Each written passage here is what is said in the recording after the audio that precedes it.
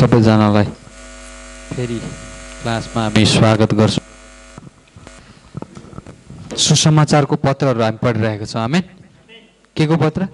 सुसमाचारको पत्र। सुसमाचारलाई ग्रिकमा के भनिन्छ?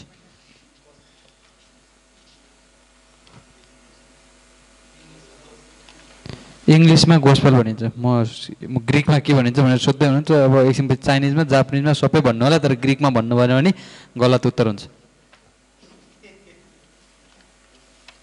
गोस्पल इङ्ग्लिसमा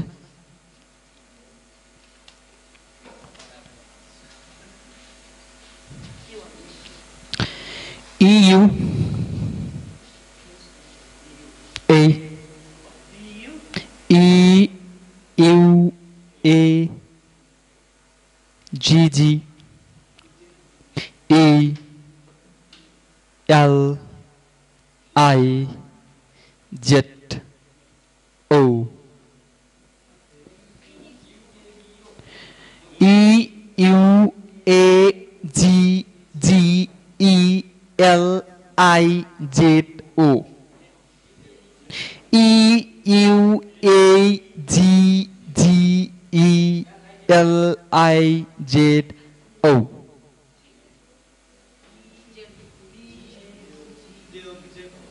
Origin है यो चाहिँ सबैभन्दा पहिलाको इयुएजिजी इ गोस्पल सुसमाचार इयुएजिजेइएलआइजेडओ इयुएजिजेइएलआइजेडओ इयुए जेट ओ लास्टमा Z Y Z Z O हे प्रभु भयो भयो यु आ गेलिजो यु आ गेलिजो इयुआ इयुआ गेलिजो इयुआ अगाडि इ भएपछि इ भएन अनि यु भएपछि इयु भएन इयु ए भएपछि आ भएन इयुआ अनि जिजिई भनेपछि के भइहाल्यो अनि त्यस पछाडि यसलाई लि भइहाल्यो जे हो ज्यू इयु गेलिजो इयु गेलियोन। अहिलेको नयाँ चाहिँ फेरि। अब यो ओरिजिनमा चाहिँ युवा गेलिजो भन्ने हुन्छ भने अहिलेको न्यू। अब अलिकति नयाँ भएर आएको शब्द चाहिँ युवा गेलियोन। युवा गेलियोन। अब लास्टमा त्यो जेओ छ त्यो यलआइओएन हुन्छ त्यसमा चाहिँ। त्यो जेटो हटाइदिने यलआइओएन न्यू चाहिँ। त्यो दुइटै राख्नुहोस्। है त। अब अहिलेलाई म यति नै राख्छु। युवा गेलिजो युवा गेलियोन।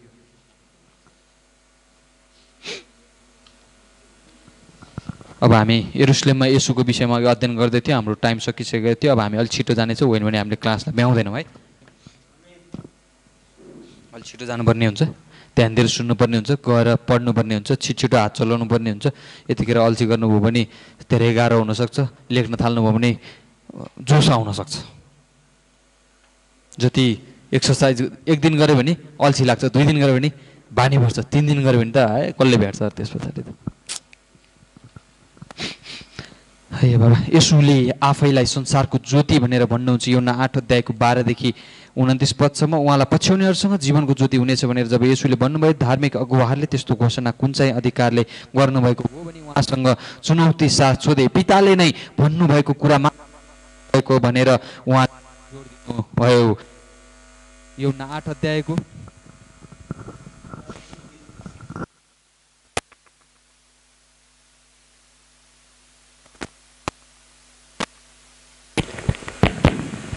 आमेन राम्रो छ यो न आठ अध्यायको बाह्रदेखि उन्तिस पदसम्म संसारको ज्योति म कुन अधिकारले तपाईँ भन्दै हुनुहुन्छ एउटा प्रश्न म म पनि सोध्छु भन बत्तिसमा दिने यौनाले यौनाले बत्तिसमा दिए कुन अधिकारले दिए उनीहरूले? मानिसबाट कि परमेश्वरबाटको थियो? मानिसबाट भनौँ भने।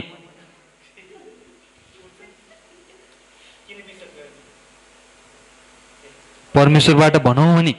किन तिमीहरूले उनलाई विश्वास गरेन त? मानिसबाट भनौँ भने भिडहरूको डर थियो।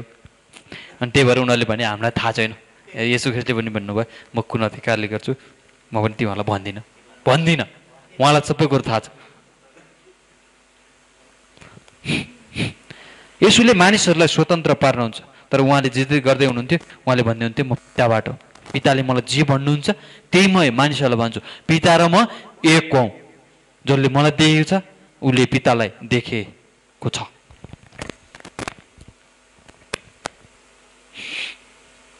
मेरो पिताले जतिजना मलाई दिनुहुन्छ तिनीहरूलाई म नहराउँ भनेर अन्त्यको दिनमा तिनीहरूलाई जीवित पारौँ भनेर जसले मलाई विश्वास गर्छ त्यसले अनन्त जीवन पाओस्। अघि भर पढाएन हामीले। कतिमा पढेको? कहाँ पढेको हामीले बिर्स्यो प्रभु। योना छ अध्यायको सडतिसदेखि अडतिस उन्चालिस हामीले पढेको। कस्तो बिर्सिनु भएको? अहिलेको अहिले बिर्सेको? हिजो बेलुका के खानु भएको थियो खानामा? आमेन। यही हो मैले खोजेको त्यही हो। वचन याद हुनु पऱ्यो कि? हुँदो रहेछ नि त होइन? क्षमता नभए। हिजोको कुरा त याद छ यार अहिलेको कुरा किन याद हुँदैन? क्षमता। छ हामीसँग। आफ्नो छोरालाई चाहिँ ज्यान दिने क्षमता हुन्छ अर्काको छोरालाई चाहिँ ज्यान लिने खालको क्षमता। क्षमता त छ नि त ज्यान दिने खाले। फरक यति हो मैले कसमा त्यो युज गर्छु। क्षमता हामी सबैसँग छ। अचम्म छ यो क्षमता भन्ने कुराहरू। हामीले त्यो क्षमतालाई जोगाउनु आवश्यकता छ। सुन्दै हुनुहुन्छ म के भन्दैछु? धन्यवाद छ प्रभु। यसुले मानिसहरूलाई स्वतन्त्र पाड्नुहुन्छ भनेर भन्नुहुन्छ। यसो संसारको ज्योति हुनुहुन्छ। अनि जो ज्योतिको उसले आफ्नो असल काम देखा परोस् भनेर ऊ ज्योतिबाट आउँछ तर जसले आफ्नो खराब काम लुकाउन चाहन्छ ऊ ज्योतिबाट कहिले पनि आउँदैन। किनभने जति पनि खराब कामहरू हुन्छ त्यो प्रायः अन्धकारमै हुने गर्छ। यसुले मानिसहरूलाई स्वतन्त्र पार्नुहुन्छ भनेर भन्नुहुन्छ। यो आठ अध्यायको तिसदेखि सडचालिस पद यो आठ अध्यायको बत्तिस पदले के हुन्छ जब तिमीहरूले सत्य जान्नेछौ तब तिमीहरूले सत्यले तिमीहरूलाई के गर्नेछ? स्वतन्त्र पार्नेछ। भनेपछि यसो ख्रिस्टको शिक्षा भनेको स्वतन्त्रको शिक्षा खमिरी शिक्षा भनेको के थियो? बन्धनमा पार्ने शिक्षाहरू थियो। यसो ख्रिस्ट हामीलाई त्यही बन्धनबाट त्यो मृत्युको बन्धनबाट त्यो पापको बन्धनबाट त्यो डरको बन्धनबाट छुटकारा दिनलाई आउनुभएको थियो। आमेन।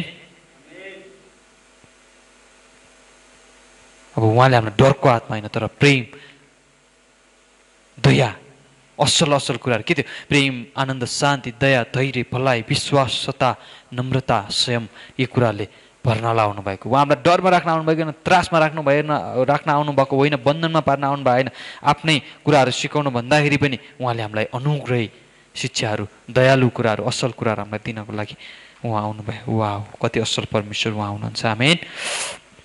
उहाँलाई पछ्याउनेहरू स्वतन्त्र हुनेछन् भनेर जब यसुले भन्नुभयो तब उहाँका केही दर्शकहरूले उनीहरू यौधीहरू भएका हुनाले अघिबाटै स्वतन्त्र भइसकेका कुराहरूमा जोड दिए तर तिनीहरूले स्वर्गीय पितालाई नभई तिनीहरूका पिता दुष्टलाई पछ्याइरहेको बताउनु भयो यो न आठ अध्यायको कति पदमा? चौलिस चौलिस पदमा। ए हामी त अब्राहमका सन्तान हौ। हामी त मोसाले भनेअनुसार गर्छौँ। आ तपाईँ त पचास वर्ष नि पुग्नु भएको छैन। ठुलो कुरा गर्न मैले अब्राहम हेलो ठुलो कुरा नि होइन? अनि यसो ख्रिस्टले के भन्नुहुन्छ? अब्राहमभन्दा अघि म तिमीहरू दुष्टका। तिमीहरू झुट बोल्छौ। यदि तिमीहरू अब्राहमलाई विश्वास गर्थ्यौ भने तिमीहरूले मलाई पनि विश्वास गर्थ्यौ। किनभने अब्राहमले मेरो विषयमा देख मेरो यी दिन देख्ने चाहना गरे तर उनले के गरेन? देख्न पाएन? अनि जब उनले थाहा पाए त्यसपछि उनी के भए? खुसी भए प्रसन्न भए। तिमी पचास रुपियाँ तिस वर्ष पुग्छौ देखे हुन्छौ। अब्रामले के भने? अब्रामबाट को आएको थियो? तिनजना व्यक्तिहरू। म हुँ। मेरो नाउँ त्यही हुनेछ। म हुँ परम प्रभु। प्रस्थान त्यही नदिएको चौध पद पन्ध्र पद। परम प्रभु देखा भन्नुभयो। को थियो त्यहाँ सद्रक मिसक अवेदनकोबाट को थियो? को थियो? जब सिमसोनलाई सिमसोन जन्मिनुभन्दा अगाडि जब सिमसोनको विषयमा भविष्यवाणी हुँदै थियो तिमी मेरो नाम किन सोध्छौ? मेरो नाम त अद्भुत को थियो त्यहाँ? म हुँ। तिमीहरू दुष्टका पिता हो। यदि मोसालाई तिमीले विश्वास गर्थ्यौ भने मलाई पनि विश्वास गर्थ्यो। यदि अब्रामलाई विश्वास गर्थ्यो भने मलाई पनि विश्वास गर्थ्यो। यदि आदमलाई विश्वास गर्थ्यो भने मलाई विश्वास यदि हाबिललाई विश्वास गर्थ्यो भने मलाई पनि विश्वास गर्थ्यो। किनभने हाबिलले परमेश्वरमाथि विश्वास गर्दथे उनले विश्वास विश्वासद्वारा परमेश्वरलाई प्रसन्न पारे उनी अहिले पनि बात गर्दैछन् उनले आफ्नो दाइलाई मार्न सक्थे तर मारेनन्। उनी आफै मरे। अब म पनि हेर तिमीहरूलाई मारिदियो भने गरे मारिदिन्छु। तर म त्यसो तर म त्यस्तो गर्दिनँ। एउटा अठार अध्यायमा जब यसु ख्रिस्टलाई पक्रिन आएको थिएँ अनि यसुले म उयो भने सबैजना लडेँ तर उहाँले मार्नु भएन कसैलाई पनि उहाँले भन्नुभएको मेरो विषयमा जे लेखिएको थियो भजन सङ्ग्रहमा लेखिएको थियो सोह्र अध्यायमा उहाँले आफ्नो अभिषेक्त जनको शरीर चाहिँ चियानमा कुहिन दिनुहुने छैन अब त्यो वचन यहाँ पुरा हुन्छ यसैले बनेको कुराहरू पुरा हुन्छ यो त्रिपन्न बाउन्न त्रिपन्न अध्यायमा तिमीहरू मलाई मार्छौ म मरेको तेस्रो दिनमा जीवित हुन्छ आमेन त्यो चाहिँ मेरो उद्देश्य हो। सबै मान्छे मृत्युको डरमा छन्। अब म मानिसहरूलाई मृत्युदेखि जीवित बनाउँछु। अनन्त जीवन दिन्छ भनेर यसो ख्रिस्टले के गर्नुभयो? देखाउँदै हुनुहुन्थ्यो।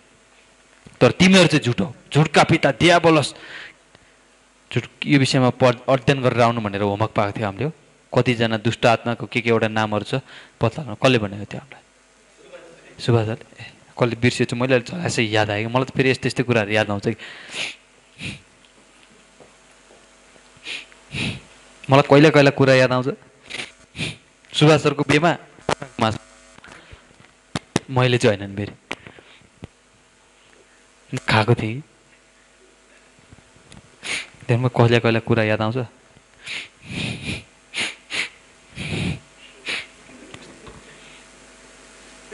नाकमा रुगा यतिखेर किन लाग्छ?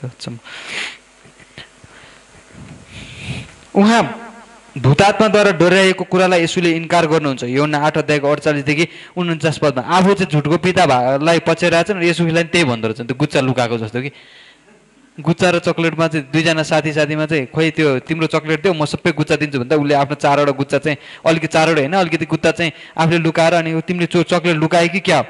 आफूले लुकाएको छ अनि उसले चक्लेट लुकायो भन्ठाने चाहिँ कि? बिचरा उसले चाहिँ सबै दिएछ सोझो।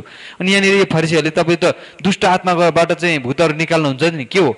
निशुखले भन्दै हुन्छ यदि मैले दुष्ट आत्माबाट निकालेँ भने तिमीहरूका छोराहरूले चाहिँ केबाट निकाल्छन्? उनीहरूले दुष्ट आत्माबाट काम गरिरहेको थियो तर यसुख्री चाहिँ होइन। यसुख्रीले परमेश्वरबाट काम गरिराख्नु भएको थियो। किनभने कुनै पनि दुष्ट आत्माले आजसम्म मरेको व्यक्तिलाई जीवित पारेको छ? अन्धालाई पाँच हजारलाई खुवाएको छ? मलाई लाग्दैन त्यस्तो दुष्ट आत्माले दुष्ट आत्मा पनि यसुख्रीलाई देखेर थर थर कामिराखेको थियो। सुन्दै हुनुहुन्छ? तपाईँ परमेश्वरको पुत्र हुनुहुन्छ। पवित्र जन हुनुहुन्छ। तपाईँ हामीलाई नाश पार्न आउनु भएको हामी विश्वास गर्छौँ। स्वाभाविक हो यसो कृष्णलाई जस सुन्ने व्यक्तिहरू धेरै छन् भूतहरूलाई पनि यसो कृष्णलाई जान्दछन् डराउँछन् थरथर कामछन् भनेर। याकुब कति अध्यायको दुई अध्यायको कति पदमा? अठार पद? खोज्नु सकेन त्यहाँ मलाई अलिक होइन भने जस्तो लाग्दैछ। जस दुई अध्याय हो तर कति पद चाहिँ? अठार। One two three four one two three four कसले पाउनुभयो अठार होइन हो उन्नाइसमा उन्नाइस उन्नाइस तिमीहरू विश्वास गर्दा त ठिकै हो। भूतहरूले पनि विश्वास गर्छन् थरथर कहाँ? उन्नाइस एक मिस्टेक हुन्छ कि जहिले पनि? त्यही भएर परमेश्वर मात्र सिद्ध हुनुहुन्छ हामी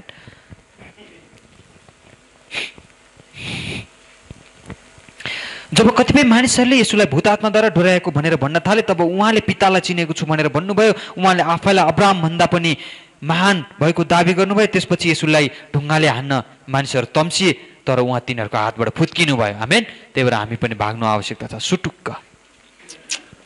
यसले अन्धो जन्मिएको मान्छेलाई चङ्गाई गर्नु चाहिँ एउटा नौ अध्यायको एकदेखि बाह्र त्यो व्यक्ति कति वर्षको थियो? जो अन्धो व्यक्ति थियो। उसको उमेर चालिस वर्षभन्दा पनि माथिको। हेर्नुहोस् नौ अध्यायमा। कसले भेट्नुहुन्छ अनि हो भने मलाई हो भन्ने सङ्केत दिनुहोस् होइन भने होइन भन्ने सङ्केत दिनुहोस्। यो ना नौ अध्यायमा उहाँले जन्मेदेखि अन्धोलाई निको पार्नु भएको छ।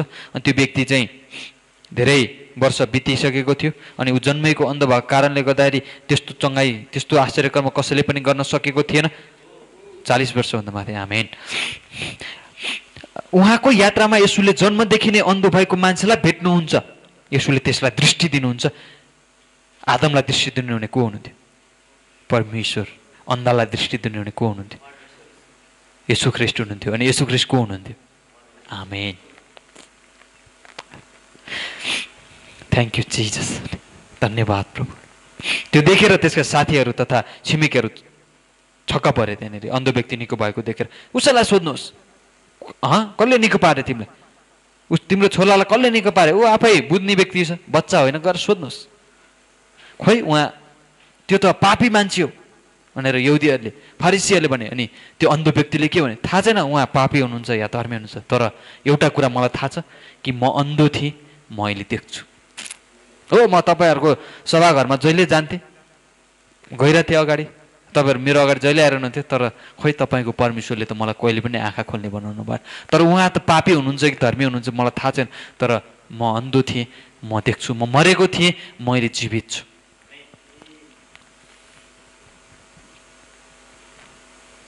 चङ्गाई पाएको यस व्यक्तिलाई धार्मिक अगुवाहरूले सोधपुछ गर्छन्। यौना नौ अध्यायको तेह्रदेखि चौतिस पदमा यसुले दृष्टि यो म अलिक फास्ट जान्छु यो सबैजनालाई थाहा भएको कन्टेस्ट हो है। यसुले दृष्टि चङ्गाई गर्नुभएको मान्छेलाई धार्मिक अगुवाहरूले प्रश्न गर्नुहुन्छ। अगुवाहरूले यसुलाई खराब देखाउन चाहन्छन् तर चङ्गाई पाएको मान्छेले साहससित यसुको प्रतिरक्षा गर्दछन्। हामीले यसु ख्रिस्टको प्रतिरक्षा गर्नुपर्छ। उहाँले आफ्नो प्रतिरक्षा आफै गर्न सक्नुहुन्छ? सक्नुहुन्छ। हामीले प्रतिरक्षा गर्दैनौँ तर पवित्र आत्मा हामीसँग हुनुहुन्छ। अब यो व्यक्ति जो अन्ध व्यक्ति छ उसलाई यसोले के भन्यो? तिमी देख्ने हौ। अब त्यही वचन अनुसार नै त्यहाँ काम हुन्छ। उसँग अब वचनको शक्ति छ। जुन वचन म तिमीहरूलाई भन्दछु ती आत्मा हुन् र जीवन हुन्। अब पवित्र आत्मा हामीसँग हुनुहुन्छ र आत्माले चाहिँ हामीलाई के गर्नुहुन्छ? साहस दिनुहुन्छ र हामी सुसमाचार प्रचार गर्छौँ र त्यसलाई रक्षा गर्ने काम कसले गर्नुहुन्छ? पवित्र आत्माले गर्नुहुन्छ।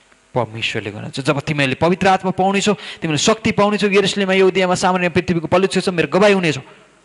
आमेन। आमेन।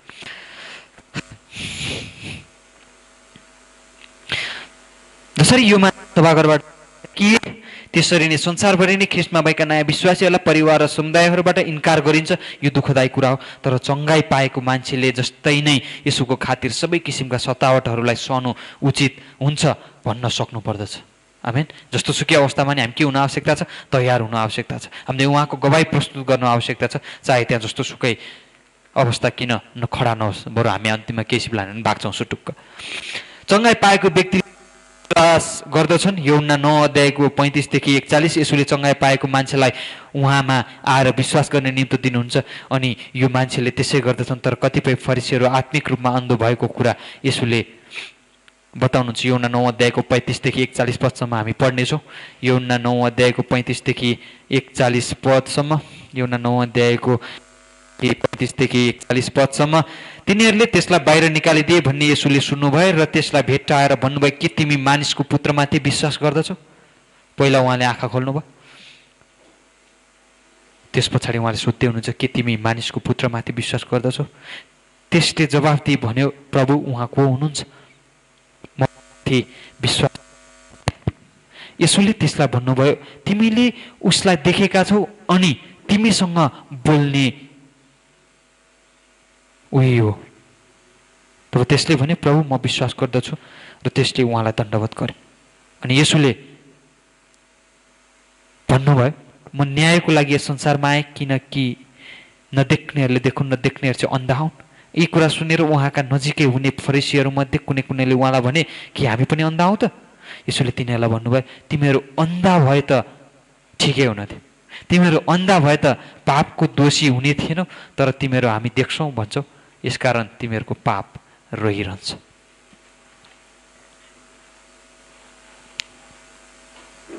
यदि अन्धोको आँखा मात्र खोलेको भए ऊ त्यो चाहिँ शारीरिक चङ्गाइ मात्र हुन्थ्यो छेडिक मात्र हुन्थ्यो।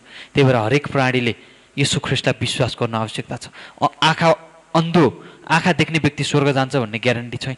आँखा निको भएको व्यक्ति तर यशु ख्रिस्टलाई विश्वास गर्ने। त्यही भएर यसु ख्रिस्टले यहाँ विश्वास देखाइराख्नु भएको छ। याद गर्नुहोस् त उसलाई अन्धाको आँखा खोल्ने बित्तिकै त्यतिकै छोडिदिनु भयो? भएन। मानिसहरूले उसलाई इन्कार गरे निकालिदिए किनभने उसलाई उसको आँखा खोलिएको थियो। यहुदीहरूबाट उनीहरू उनी अलि अलग जस्तो भएको थियो अनि यसु उसलाई दया गर्नुभयो।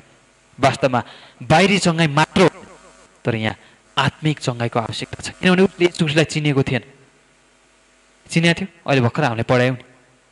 कि तिमी मानिसको पुत्रलाई विश्वास गर्छौ? उहाँ को हुनुहुन्छ प्रभु? तिमीसँग बोल्ने।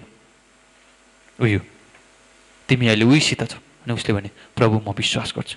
उसले प्रभु भनिरहेछ नि यसोले तिमी मलाई किन प्रभु भन्छु? भन्नु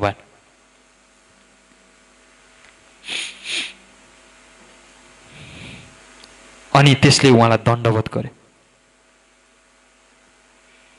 दण्डवत गर्यो प्रभु भन्यो आमेन। के भनेको छ? व्यवस्थाले के भन्छ? तिमीले परमप्रभु आफ्नो परमेश्वरलाई दण्डवत गर्नु उहाँकै सेवा गर्नु। उहाँ को हुनुहुन्छ? परमेश्वर। अनि उहाँले मलाई दण्डवत नगर भनेर भन्नुभयो? भन्नु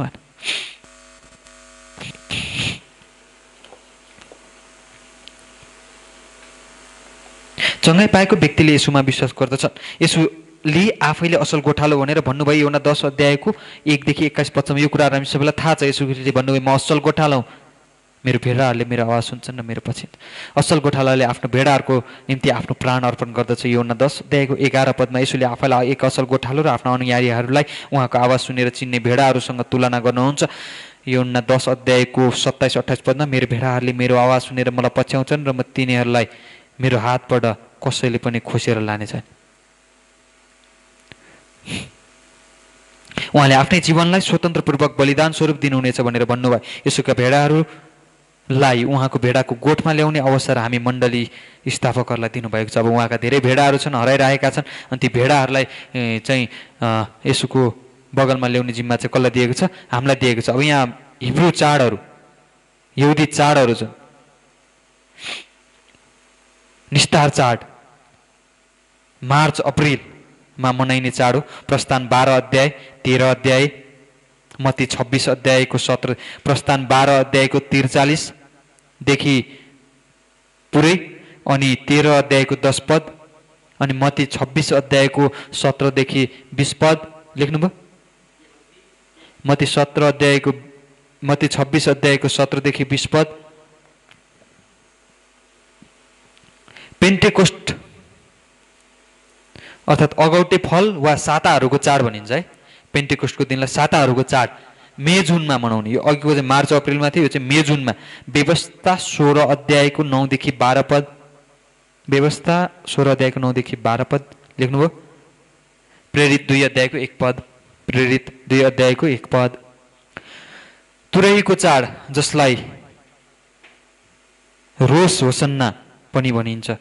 तुरैको चाड जसलाई रोस होसन्ना होसन्ना यसो ख्रिसको तुरैको चाडले चाहिँ यसो बादलमा आउने कुराहरूलाई देखाउँछ। पहिलो तेस्लो कि चार अध्यायको सोह्र सत्र। त्यसको अर्थ हो त्यो चाहिँ तर त्यो नलेख्नुहोस् बुझ्नुहोस् भनेर मात्र भने हो। सेप्टेम्बर अक्टोबरमा मनाइन्छ यो चाहिँ। गन्ती उन्तिस अध्यायको एकदेखि छ पद। गन्ती उन्तिस अध्यायको एकदेखि छ पद। September October March April May June. September October है। प्रायश्चितको दिनलाई योम किप्पुर पनि भनिन्छ योम किप्पुर प्रायश्चितको चाड। September October. लेबी तेइस अध्यायको छब्बिसदेखि बत्तिस पद। लेबी तेइस अध्यायको छब्बिसदेखि बत्तिस पद। हिब्रू नौ अध्यायको सात पद। छाप्रावासको चाड। झुप्राहरूको चाड भेला हुने कि? September October. नहिम्या आठको तेह्रदेखि अठार पद योहन्ना नहिम्या आठ अध्यायको तेह्रदेखि अठार पद योहन्ना सात अध्यायको दुई पद छाप्रावासको चाड समर्पणको चाड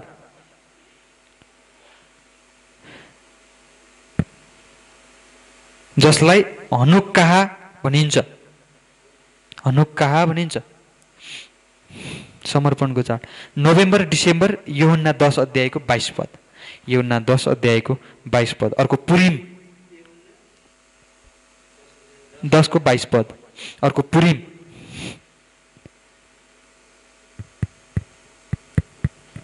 फेब्रुअरी मार्च स्तर नौ अध्यायको आठदेखि बत्तिस पद। नौ अध्यायको अठारह देखि, बत्तीस पद। अठारह अठारदेखि बत्तिस। यस्तर नौ अध्याय को अध्यायको अठारदेखि बत्तिस।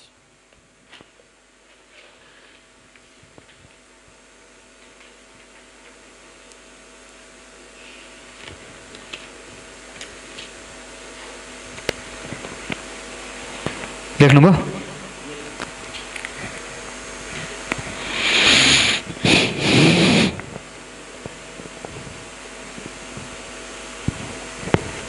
पुरिम चाड भनेर थाहा छ? पढौँ है त। सुसनका यहुदीहरूले चाहिँ त्यस महिनाको तेह्रौँ र चौथो दिनमा सङ्गठित भए र पन्ध्रौँ दिनमा विश्राम लिए र त्यस दिनलाई चाड र हर्षको दिन ठहराए। यसैले टाढा टाढाका गाउँहरूमा बस्ने यहुदीहरूले आधार महिनाको चौथो दिन हर्ष र चाडको दिन मनाउँछन् र त्यस दिन तिनीहरू एकअर्कालाई उपहारहरू पठाउँछन्। क्रिसमस जस्तै रहेछ मर्दकैले यी कुरा लिखित रूपमा प्रतिवेदन गरे र राजा आहासुरसका समस्त प्रान्तहरूका टाढा र नजिकका सबै युदीहरूलाई उनले यस्तो लेखेर पत्रहरू पठाए कि वर्षेनी आदर महिनामा चौ चौधौँ र पन्ध्रौँ दिन आफ्ना शत्रुहरूदेखि विश्राम पाएको समय चाहिँ र तिनीहरूका निम्ति शोकबाट हर्ष र विलापबाट उत्सवमा परिवर्तन भएको महिना चाहिँ मनाउनलाई स्थापित गरे। तिनीहरूले ती दिन चाड र हर्ष एकअर्कालाई खानेकुराको सौगात पठाउने र गरिबहरूलाई उपहार दिने दिन चाहिँ मनाउनुपर्छ भनी उनले लेखे। यसै कारण मर्दकैको पत्र अनुसार सुरु गरेको रीति कायम राख्नलाई यहुदीहरू समस्त भए। यो तिनीहरूले पत यसकारण गरे किनभने सबै यहुदीहरूले शत्रु अगाडि हम्मताताको छोरा हमानले यहुदीहरूलाई नष्ट पार्ने हेतुले षड्यन्त्र रचेर कुनै एउटा दिनको लागि चिट्ठा हालेको थियो।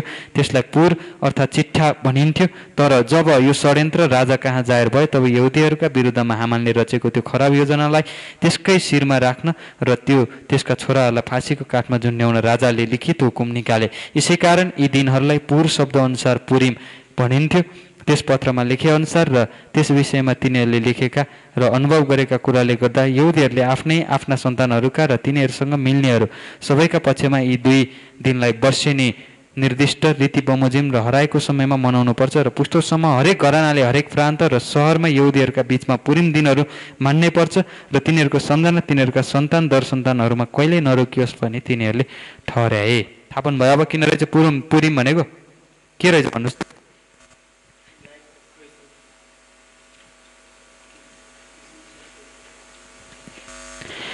पुरिम भनेको चाहिँ छुटकारा चाड हो। त्यतिखेर चाहिँ यो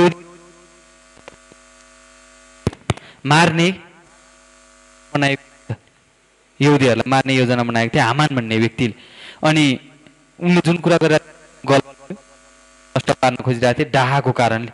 अनि त्यो कुरा जब राजा भठा पुग्यो अनि त्यस पछाडि राजाले उल्टै उसको सन् उसकै परिवारलाई चाहिँ त्यो क्रुसमा झुन्ड्याएर मार्ने के गरे? आज्ञा दिए। र यहुदीहरूले चाहिँ के पाए? छुटकारा पाए। कुरो बुझ्दै हुनुहुन्छ? अनि उनीहरूले त्यो चाहिँ अब हर्ष र आनन्दको दिन भनेर पुरिमलाई माने जहाँ चाहिँ यहुदीहरूले छुटकारा पाए। कुरो बुझ्दै हुनुहुन्छ? हेलो? बुझ्दै हुनुहुन्छ? यसोले पितासँग एक भएको दावी गर्नुहुन्छ। यौना दस अध्यायको बाइसदेखि बयालिससम्म। एरुसलेममा समर्पणको चाडमा यौना दस अध्यायको बाइसदेखि बयालिस यसु र पिता बराबर हुनुहुन्छ भनेर उहाँले के गर्नुहुन्छ? दावी गर्नुहुन्छ। एरुसलेममा सम समर्पणको चाडमा उहाँ र पिता एकै हुनुभएको कुरालाई उहाँले घोषणा गर्नुहुन्छ। कतिपय मानिसहरूले उहाँलाई मार्नको निम्ति ढुङ्गा टिप्छन् तर उहाँ त्यहाँबाट फुत्किनुहुन्छ। फेरि फुत्किनुहुन्छ। एउटा ड्याङको मुला भन्थ्यो त्यस्तै छ त यो।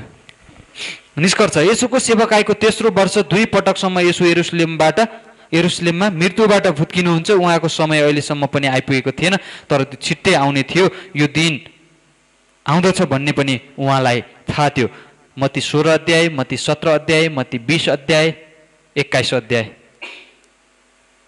यसो ख्रिस्टले अगाडि नै भन्नुभयो म मलाई मानिसहरूले यस्तो गर्छन्।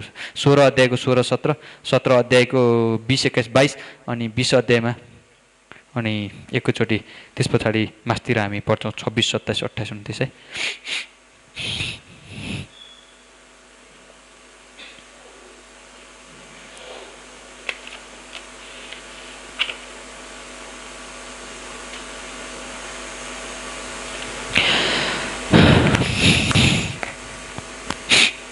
अब हामी यसुको सेवकाईको चौथो वर्षलाई सुरु गर्नेछौँ।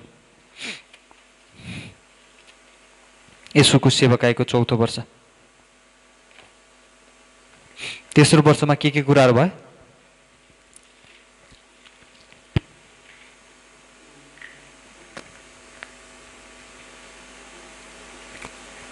उहाँले धेरै आश्चर्य कर्महरू गर्नुभयो। उहाँ गालिलमा मानिसहरूद्वारा उहाँ इन्कार गरिनु भयो उहाँले पिता र आफूलाई बराबर ठुल्याउनु भयो अन्धका आँखा खोल्नुभयो बेबिचारी स्त्रीलाई छुटकारा दिनुभयो सामरी स्त्री भट्टा जानुभयो गैर योधीहरूबाट जानुभयो। ठिक छ यो कुराहरू सम्झिनुहोस् है। हामी अगाडि गइहालौँ है। आफ्नो नोट पल्टाएर पनि हेर्न सक्नुहुन्छ त्यहाँ तपाईँहरूले लेखिसक्नु भएको छ। क्रुसतर्फ जाँदै यसुको सेवकाईको चौथो वर्ष। यसुले लोकप्रियताको शिखरलाई महसुस गर्नुभएको थियो। आमेन। म सगरमाथा चढ्दैछु अनि मेरो उद्देश्य चाहिँ के हुन्छ? त्यो शिखरको टुप्पामा पुग्नु। अनि यसु ख्रिस्टलाई चाहिँ त्यो कुरा महसुस भएको थियो। अब मेरो यात्रा चाहिँ के हुँदैछ? टुङ्गिँदैछ उहाँले आफ्नो दौड पुरा गर्नुभएको छ। म व्यवस्था पुरा गर्न आएँ। हिब्रू एघार अध्यायको बाह्र अध्यायको एक र दुई। हाम्रो विश्वास र केलाई पुरा गर्ने हुनु? दौड पुरा गर्नुहुने यसुलाई हेर्दै। मेन त्यसको साथै त्यसमा आएको रासलाई पनि उहाँले महसुस गर्नुभएको थियो तर उहाँको पिताले दिनुभएको कार्यलाई पुरा गर्नमा कुनै कुराले पनि उहाँलाई रोकेन। पिता यो कचौरामाबाट हटोस् तर पनि मेरो इच्छा होइन। तपाईँको इच्छा पुरा होस्। के मेरो पिताको घरमा हुनु पर्दैन मैले? उहाँको बिजनेस बिजनेस। उहाँको काम गर्नु पर्दैन मैले भनेर यसो भन्नुभएको भएन। कति अध्यायमा कहाँ भन्नुभयो उहाँले त्यो लुका चार अध्यायमा जब उहाँ मन्दिरमा हराउनु भएको थियो अनि मन्दिरमा भेटाउनु भएको थियो यसोको सेवाकाईको चौथो वर्षको कथा भनेको एरुसलेम र क्रुसतर्फको यात्रा हो यसो क्रुसमा गएर के भन्नुभयो अब सिद्धियो आमेन उहाँले आफ्नो सबै दौडलाई सिद्ध यसुको सेवकाईको चौथो वर्षको कथा भनेको एरुसलेम र क्रुसतर्फको यात्रा हो चौथो वर्षको सेवकाई भनेको एरुसलेम र क्रुसतर्फको यात्रा हो। चौथो वर्षको त्यसका वर्ष उहाँले आफ्नो अनुयायीहरूलाई आउँदै गरेको कुराहरूका निम्ति तयारी तथा उहाँको सार्वजनिक सेवकाई समापनको तयारीमा बिताउनु भयो एरुसलेम अगाडि थियो। त्यस समयदेखि उसो यसुले आफ्ना चेलाहरूलाई उहाँ यरुसलेममा जानुपर्छ अनि धर्मगुरुहरू प्रधान पुजारीहरू अनि व्यवस्थाका गुरुहरूको हातबाट धेरै कष्ट भोग्नुपर्छ अनि उहाँ मर्नुपर्छ र तेस्रो दिनमा जीवित भई उठ्नुपर्छ भनी बताउन थाल्नुभयो। मती सोह्र अध्यायको एक्काइस पद जसै उहाँको स्वर उठाइ लगिने दिन नजिक आउँदै थियो यसुले यरुसलेमतिर जाने निश्चय गर्नुभयो।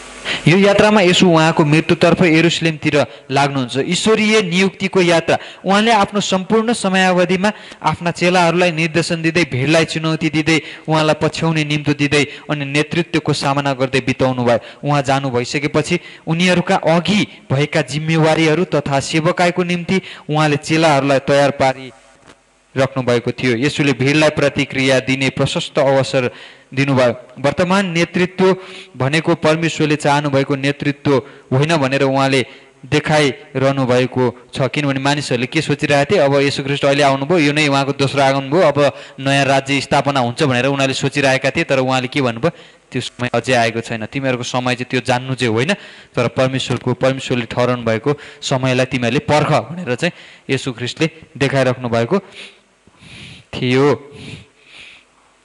उहाँको विरुद्धमा धेरै शक्तिहरू खडा भइरहेको समयमा उहाँले दिनुभएको शिक्षाको स्पष्ट झलक हामीले यो खण्डमा देख्छौँ। यो चर्कदै गरेको विवादले यरुसलेममा घट्न गइरहेको एकदमै महत्त्वपूर्ण घटनालाई खडा गर्दछ र यसोले त्यसको अन्त्यलाई देख्न सक्नुहुन्छ। स्वर्गमा फर्किसकेपछि उहाँ कस्तो देखिनुहुनेछ भन्ने नमुना स्वरूप यसो रूप परिवर्तन हुँदा उहाँ स्वर्गीय महिमामा चम्कनुहुन्छ तर उहाँका कार्य अझै बाँकी नै छ। त्यसैले चेलाहरू असफल हुँदा उहाँ दुखित हुनुभएको स्वाभाविक नै हो। जब यसुख्रिस्ट मती सत्र अध्यायमा त्यहाँ हुनुहुन्थ्यो तब उहाँको रूप परिवर्तन भयो। याद गर्नुहोस् त मृत्यु पछाडिको जीवन उहाँले त्यहाँनिर देखाउँदै हुनुहुन्थ्यो। किनभने उहाँले चेलाहरूलाई प्रेम गर्नुहुन्थ्यो र उहाँले आफ्नोहरूलाई कहिले पनि भविष्यमा हुने कुराहरूदेखि टाढा राख्नुहुन्न। उहाँले बताउनुहुन्छ आफ्नो के म तिमीहरू मेरो मित्रहरू हो। मित्रहरूको लागि आफ्नो प्राण अर्पण गर्नुभन्दा ठुलो कुरा केही पनि हुँदैन। मालिकले आफ्नो कुरा नोकरलाई भन्दैन तर मैले त तिमीहरूलाई सबै कुराहरू बताइदिएको छु कारण तिमीहरू मेरो मित्रहरू भनेर यसु ख्रिस्टले बताउँदै हुनुहुन्थ्यो। त्यही भएर कहिलेकाहीँ उहाँ दुखित हुनुहुन्थ्यो जब चेलाहरूले असफल हुँदाखेरि। कतिखेर उहाँ चेलाहरूदेखि दुखित हुनु। जब आउँथे ए प्रभु हामीले त्यसलाई भूतबाट निकाल्नै सकेन निको पार्नै सकेन। म कहिले तिमीहरूसँग रहिरहन्छु? यही अल्पविश्वासी हो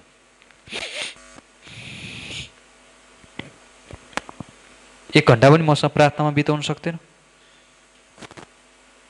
अब निधाइरह। जति निधाइन्छ क्लास सकिएपछि निधाइरह तर क्लास छन्जेल चाहिँ हामी लेख्नेछौँ हामी क्लास सकिएपछि दुई घन्टा पनि हामी के परमेश्वरको वचनमा टाइम बिताउन सक्दैन गफ गर्नु पऱ्यो भने त कसैले भेट्दैन हामीलाई तिन घन्टासम्म। टपिक्स पनि चाहिँदैन। माफ गर्नुहोला किनभने त्यो मानिस होइन परमेश्वर मात्रै सिद्ध हुनुहुन्छ। सुन्दै हुनुहुन्छ? सुन्दै हुनु पैसा कमाउनु पऱ्यो भने हामी चौबिस घन्टा पनि हामी उस्तै पऱ्यो नसुतिकन पनि हामी तर परमेश्वरको वचनको लागि दुई घन्टा पनि हामी तयार छैन। जो तयार हुनुहुन्छ उहाँले आमेन भन्नुहोस्। चार घन्टा हुनुहुन्छ क्या कहिले काहीँ त चार घन्टा पढाउँछु होला सायद। आज हाम्रो साढे एक बजेपछि अर्को क्लास सुरु हुनेछ। तयार हुनुहुन्छ? यसो नै मसिह हुनुहुन्छ भन्ने पत्रुसले स्वीकार गर्दछन्। मती सोह्र अध्यायको तेह्रदेखि बिस पदमा मर्कुस आठ अध्यायको सत्ताइसदेखि तिस पदमा मती सोह्र अध्यायको तेह्रदेखि बिस पदमा मर्कुस आठ अध्यायको सत्ताइसदेखि तिस पदमा लुका नौ अध्यायको अठारदेखि एक्काइस पदमा। सिजरिया फिलिपमा फिलिपीमा यात्रा गर्ने क्रममा यसुले चेलाहरूलाई उहाँ को हुनुहुन्छ भन्ने तिनीहरूले ठान्दछन् भनेर सोध्नुभयो। सिमन पत्रुसले उहाँ मसिह हुनुभएको स्वीकार गर्दछन् अनि यसुले तिनलाई चट्टान भनेर बोलाउनु भयो। परमेश्वरको योजनाहरूलाई दुष्टको शक्तिले जतिसुकै विफल पार्न खोजे तापनि त्यो सफल नहुने त्यसमा यसुले आफ्नो मण्डली स्थापना गर्नुहुने प्रतिज्ञा गर्नुहुन्छ। यसुले सुरुवात प्रेरितहरू तथा अगमवक्ताहरूद्वारा स्थापना भएको जगमा नै उहाँले उहाँको मण्डलीलाई अझै पनि निर्माण गरिरहनु भएको कुरालाई पावलले एपिसी दुई अध्यायको बिसदेखि एक्काइसमा बताएका छन्। यसो कुनै ढुङ्गो हुनुहुन्छ? अनि प्रेरितहरू जगहरू हुन्? अनि हामी चाहिँ त्यही माथि बसालिएकाहरू हौँ र त्यसमा हामी निर्माण हुँदै गइरहेका छौँ।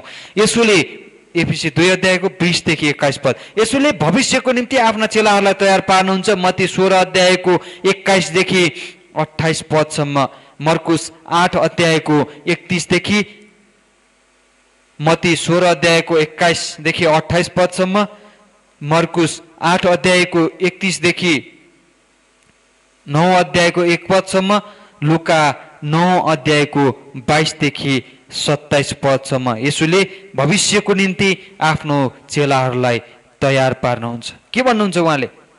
तिमी अब उसो मानिसहरूको जालारे हुनेछौ। कसैले आफूलाई इन्कार गर्न सक्दैन भने मेरो चेला हुन सक्दैन। स्यालको दुला छन् तर मानिसको पुत्रको शिर लुकाउने ठाउँ छैन। राजाको दरबार छन् बिच्छुहरूको कुटी छन् मानिसहरूको घरहरू छ तर मानिसको पुत्रको शिर लुकाउने ठाउँ पनि छैन। यसुले आफ्नो चेलाहरूलाई आफ्नो मृत्युबारे बताउनुहुन्छ। उहाँलाई पछ्याउन चाहने कसैले पनि आफ्नै क्रुसलाई दैनिक बोक्नुपर्ने बताउनु भयो। पत्रुस म तिमीलाई साँचो साँचो भन्छु।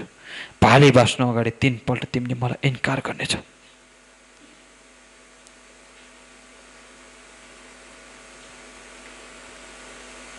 तिमीहरू सबै मलाई छोडेर भाग्नेछौ।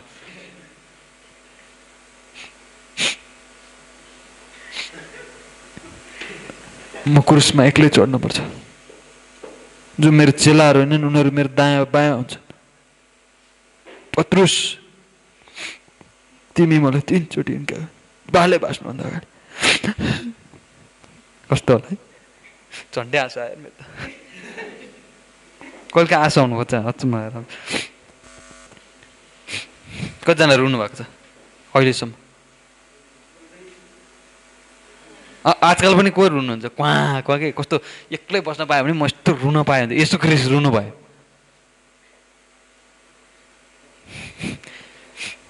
यसोले भविष्यको निम्ति आफ्नो चेलाहरूलाई तयार पार्नुभयो। आमेन।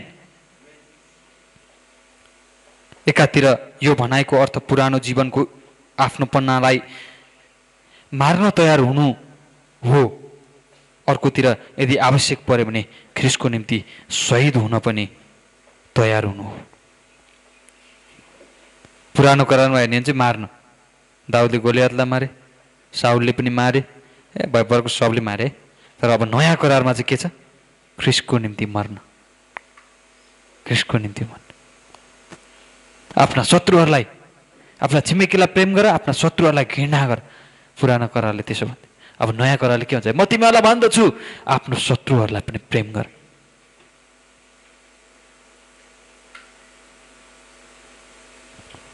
आफूलाई सराप्नेलाई आशीर्वाद। कसैले एउटा गालामा हिर्काउँछ भने दाहिने गाला थापिदेऊ यदि कसैले देब्रे गालामा हिर्काउँछ मेन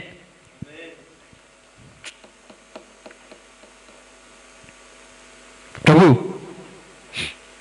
म तपाईँसँग मर्नु परे पनि तयार छु। पितृ पत्रुस म तिमीलाई भन्छु तिमीले मलाई तिनपल्ट इन्कार गर्नेछौ। अनि पत्रुसले भने अन्तिममा गर।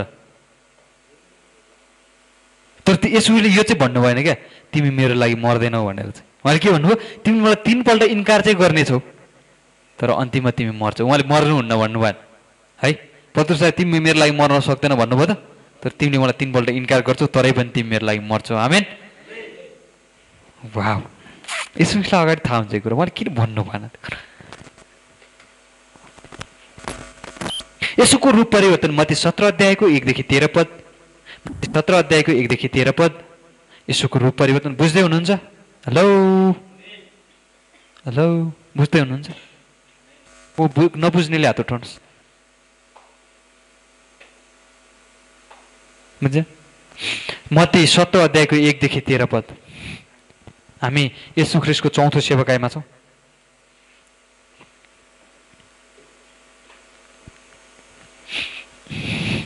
मर्कुस नौ अध्यायको दुईदेखि तेह्र पद। मर्कुस नौ अध्यायको दुईदेखि तेह्र पद। लुका नौ अध्यायको अठाइसदेखि छब्बिस पद। लुका लुका नौ अध्यायको अठाइस छैन? ए नौको अठाइसदेखि छत्तिस पद। कस्तो मिलाएर बुझ्दैन यार कस्तो अचम्म। यस्तो कुरा नि सोध्ने हो।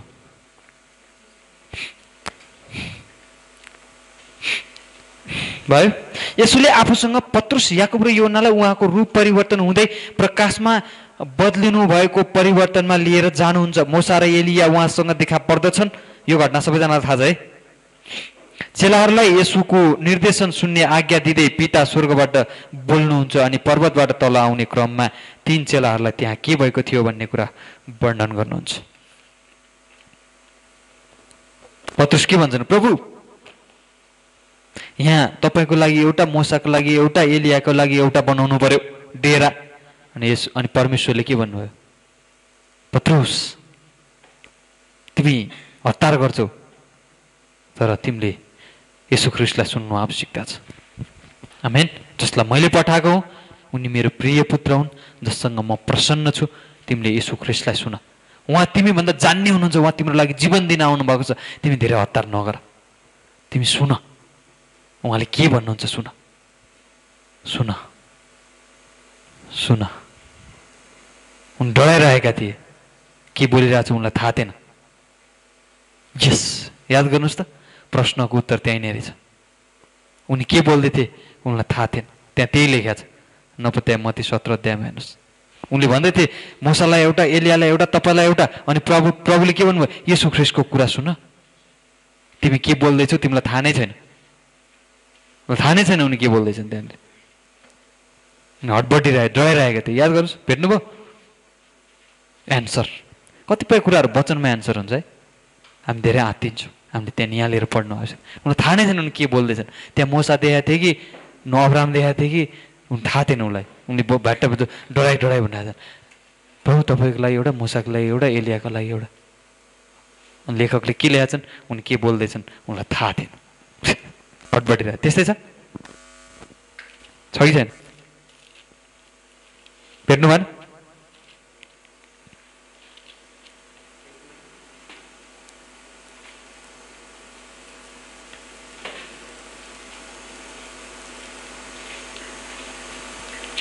मती सत्र अध्याय म त योन्ना सत्र अध्याय हेरेर भने किन छैन? भन्छु। होइन नबोल्नुहोस् तर मन मनले पढ्नुहोस्।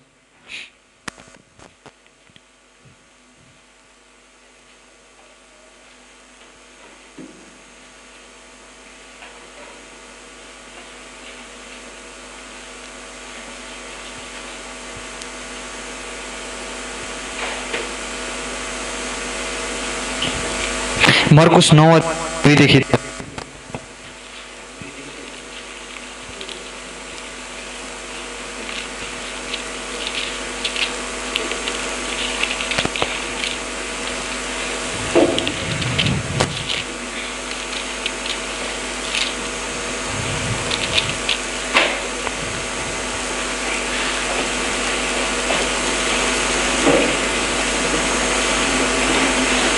मर्कुस नौ अध्यायको छ पद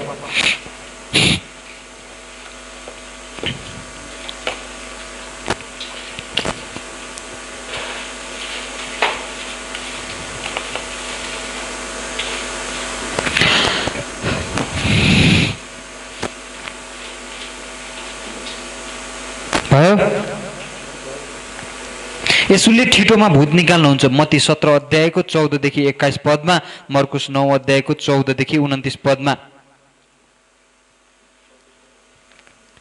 प्रभु मेरो छोरालाई भूतले सताइरहेको छ। के तपाईँ यसलाई निको पार्न सक्नुहुन्छ? तिमी विश्वास गर्न सक्छौ भने। के छ त्यहाँ?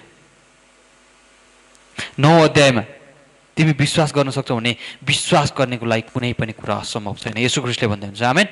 ती व्यक्तिले भन्दैछन् मेरो छोरो हेर्नुहोस् त कस्तो भइरहेछ। के तपाईँ निको पार्न सक्नुहुन्छ? यसो ख्रिस्टले के भन्नुहुन्छ? विश्वास गर्नेको लागि यो पहाड यहाँबाट हटिएर समुद्रमा जाओस् भने त्यसको लागि त्यस्तै हुनेछ। एकचोटि एउटा बुढी आमाले प्रार्थना गर्नुभएको छ प्रभु यो पाहाड हटोस् किनभने उसले त्यो डाँडा उक्लेर जानुपर्ने रहेछ। त्यो डाँडा नभए भए एक मिनटमा पुग्नु हुँदो रहेछ पछाडि चर्चमा। भोलि बिहान उठेर हेरेको के को पाहाड जस्ता मलाई थाहा थियो प्रभु तपाईँले हटाउनुहुन्न भनेर। कस्तो विश्वास थियो त्यो। है? अनि अर्को एकजना बुढी आमै हुनुहुँदो रहेछ। उहाँले चाहिँ बिहान प्रार्थना गर्नुभएछ प्रभु यो पाहाड हटिजाओस् भनेर। अनि छोरीको घरतिर जानुभएछ। एक वर्षपछि गएर आउँदाखेरि त डाँडो छैन। डोजरले खनाएर सबै छ। उहाँ थ्याङ्क यू धन्यवाद प्रभु। कस्तो मजा है सुन्नुभएको थियो कथा पहिला? दुइटै सुन्नुभएको थियो? कसले भनेको थियो यो?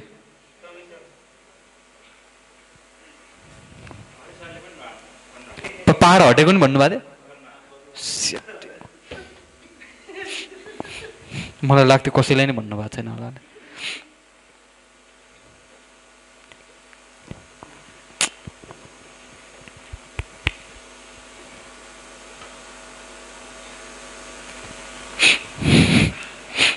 एकजना बुढी आमै हुनुहुँदो रहेछ है उहाँले चाहिँ प्रार्थना गर्नुभएछ प्रभु यो पाहाड हटोस् भनेर अनि बिहान उठ्दाखेरि त उहाँ अन्तिम सास सिद्धिसक्नु भयो। यो यो कथा सुन्नुभएको थियो? अहिले सुन्नुभयो थियो कसैलाई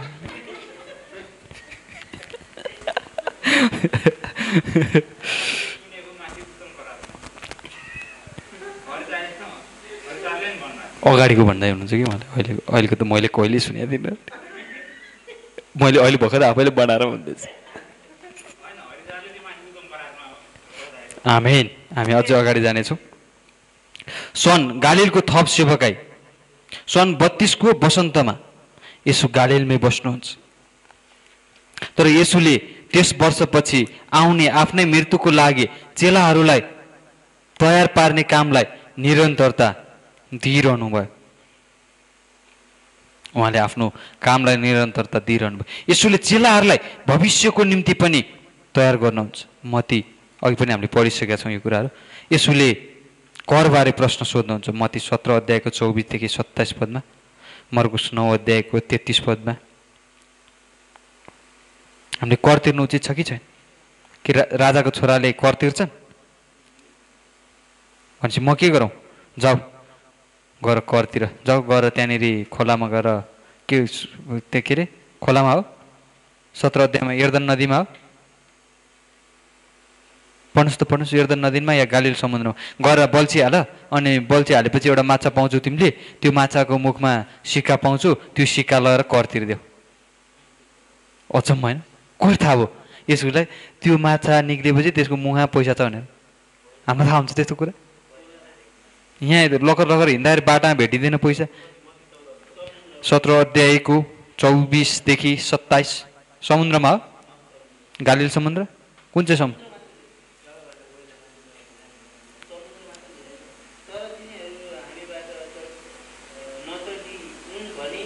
भने यसले चाहिँ समुद्रमा गएर बसी हान र पहिले परेको माछा ल्याउ र त्यसको मुखमा खोल्दा तिमीले एउटा जातिको सिक्का पाउँछौ त्यो लगेर तिम्रो र मेरो निम्ति तिमीलाई देऊ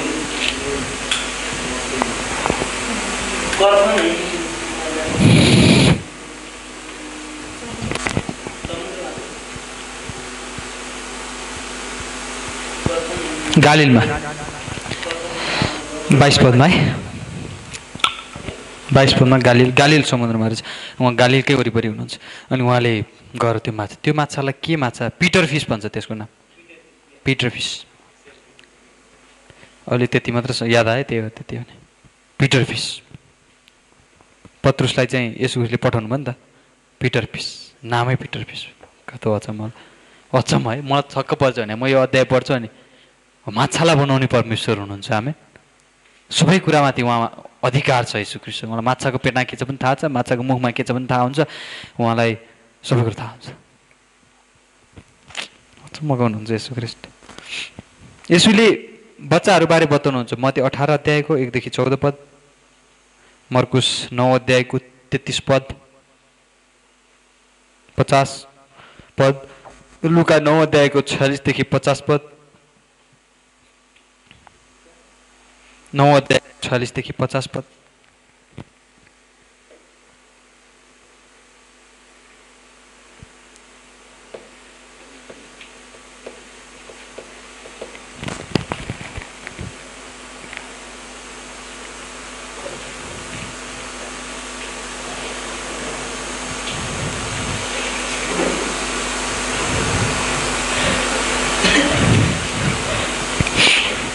सानो बालकको नम जस्तै नम्रताले नै महान व्यक्ति बनिन सकिन्छ भनेर यसुले चेलाहरूलाई बताउनु भयो अनि बच्चाहरूलाई पाप गर्न लगाउनेहरूको विरुद्धमा उहाँले चेतावनी दिनुभयो। जसले यी सानाहरूलाई गलत कुरातिर डराउँछ डोर्याउँछ त्यो सबैभन्दा सानो हुन्छ। जसले ठेस खाउने बाटो बनाउँछ त्यो त नजन्मे भए नै हुन्थ्यो बरु। जसले यी खराब यी साना नानीहरूलाई चाहिँ खराब बाटोमा डोर्याउँछ त्यो त त्यसको घाँटीमा चाहिँ त्यो जाँतो झुन्डाएर समुद्रको बिचान लगाएर खसालिदियो भने उचित हुन्छ। चेतावनी। त्यही भएर सानो व्यक्तिहरूलाई कहिले पनि खराब कुरा सिकाउनु हुँदैन। जसले खराब कुरा सिकाउँछौँ वा खराब कुरा हत्या गर्न बेविचार गर्न खराब खराब कुरातिर परमेश्वरलाई विश्वास नगर्ने कुरातिर डोर्याउँछौँ भने त्यसको त्यसको लागि चाहिँ डरलाग्दो कुराहरू त्यहाँनिर छ। आए त्यो जस्ता र मानिसको पुत्र पक्राइन्छ। त्यो त नजन्मेकै भए पनि हुन्थ्यो। विनाशको पुत्र। यसोले क्षमादान बारेमा बताउनुहुन्छ। मती अठार अध्यायको चौधदेखि उन्नाइस चौधदेखि मास्तिर र उन्नाइस अध्यायको दुई पदसम्म। मती अठार अध्याय उन्नाइस अध्यायको दुई पदसम्म। मर्कुस दस अध्यायको एक पद। मती अठार अध्यायको चौधदेखि उन्नाइस अध्यायको दुई पद। मर्कुस दस अध्यायको एक पद। सात गुणा सत्तरी पटक। यदि तिम्रो भाइले तिम्रो विरुद्धमा पाप गर्न लाउँछ भने पतुसले भन्छन् प्रभु म कतिपल्ट उसलाई क्षमा गरौँ? मेरो भाइले मेरो विरुद्धमा गल्ती गर्यो भने सातपल्ट सात गुणा सत्तरीपल्ट एक दिनमा। अझ एक मिनटमा। एक मिनटमा सात गुणा सत्तरीपल्ट गल्ती गर्दैन होला। एक मिनटमा लजा पवित्र आत्माले चाहिँ हामीलाई अगुवाई गर्नुहुन्छ। हामी पवित्र आत्मा चाहिँ गहिरा गहिरा कुराहरूको खोजी गर्नुहुन्छ।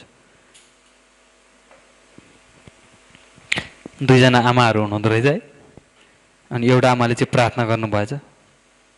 अर्को आमाले एउटा नै सुन्नु भएन आमेन यो क सुन्नुभएको थियो। टाइम सकिसक्यो। हामी अब साढे एक बजी बेला आउनेछौँ। सुन्दै हुनुहुन्छ? सुन्दै हुनुहुन्छ? आज हामीले के को विषयमा अध्ययन गऱ्यौँ? यसो ख्रिस्टको तेस्रो र चौथो सेवागाई आमेन। परमेश्वर पिता क्लासको लागि हामी हजुरलाई धन्यवाद भन्छौँ। यीशु प्रभुको नाममा। आमेन।